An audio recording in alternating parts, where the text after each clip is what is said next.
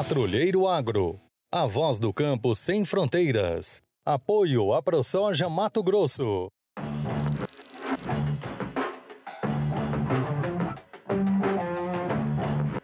O milho, há poucos anos atrás, se falava de 60, 70 sacos por hectare, quando ia muito bem, 80 sacas, né?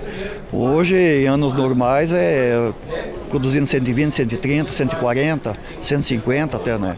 Canarana, 20 anos atrás, quem plantava milho era só o tio da pamonha.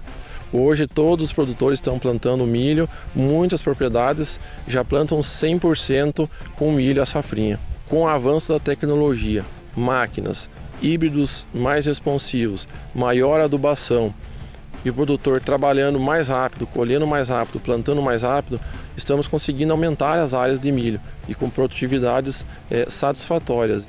É um processo evolutivo, né? o produtor vem investindo mais em qualidade e fertilidade de solo. Com isso, cultivares podem ser plantadas variedades mais precoces que mantêm um teto produtivo bom de soja e ele tendo uma variedade com uma precocidade maior, consegue também explorar melhor o cultivo de segunda safra, no caso de milho. O município aqui tem muito potencial para crescimento, ainda tem muito potencial, né? a Canarana tem muita área para ser aberta, ainda em, que está em pastagem.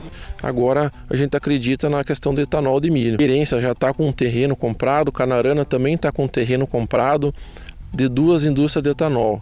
Esse é o futuro da nossa região. Hoje, a cada 100 sacos que o Mato Grosso produz, pelo menos 20 sacos vai para etanol. E também tem as, as questão da, das rações do DDG que melhora a pecuária. Então é um caminho sem volta que a gente espera está chegando aqui na região. Então a gente está muito é, feliz e com uma expectativa muito grande de o quanto antes essas empresas é, vier para a região para a gente estar tá podendo ver esse crescimento que a gente já está vendo com outras culturas, como no nosso município Gergelim, né, trouxe um crescimento muito grande.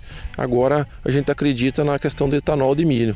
Outra cultura que pode se beneficiar com a instalação das usinas de etanol na região é o eucalipto.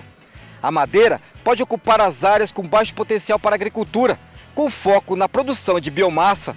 São áreas extremamente arenosas e áreas com pedras, que não conseguem reter umidade e com o eucalipto você consegue é, dentro da propriedade, fazer esse, esse manejo. Claro que o produtor também tem que fazer essa área com o máximo de tecnologia, fazer calagem, fazer adubação, cuidar como se fosse uma lavoura normal. Você não pode plantar simplesmente por plantar. Fazendo o manejo correto, é ter uma rentabilidade excelente.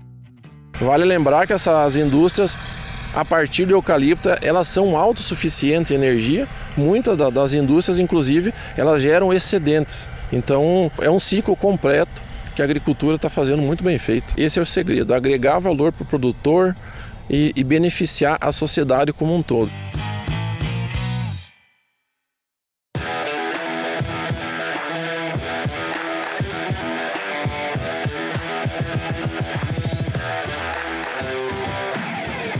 Patrulheiro Agro, a voz do campo sem fronteiras. Apoio a ProSoja Mato Grosso.